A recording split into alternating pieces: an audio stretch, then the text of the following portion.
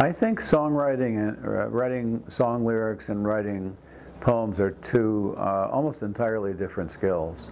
Um, Paul Simon memorably said, the, the secret to writing a good song is putting the vowels in the right place.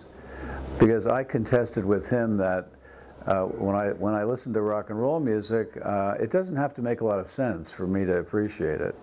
And a lot of rock and roll is basically nonsense.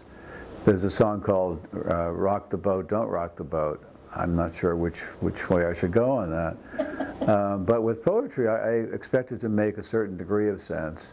So I, I think they're two uh, very different, and you can make a lot of money from writing one or two songs.